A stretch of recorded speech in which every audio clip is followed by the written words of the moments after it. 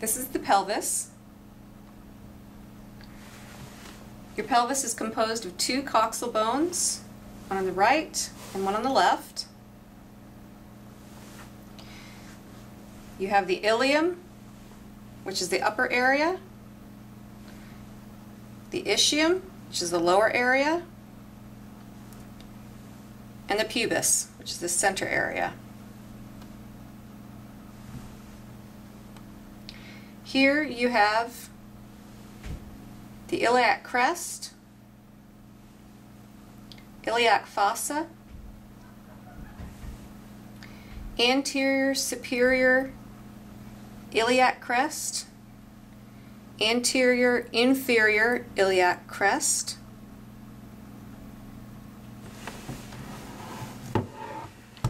On the back you're going to find the posterior superior iliac crest,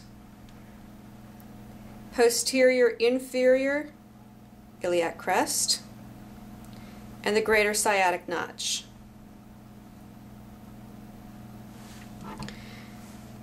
Part of the ischium, you have the ischial spine,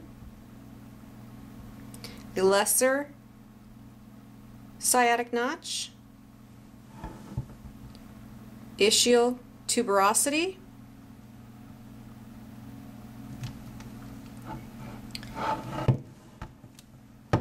for the pubis area, you have the pubic crests here, pubic tubercle, pubic symphysis, the obturator foramen, pubic arch,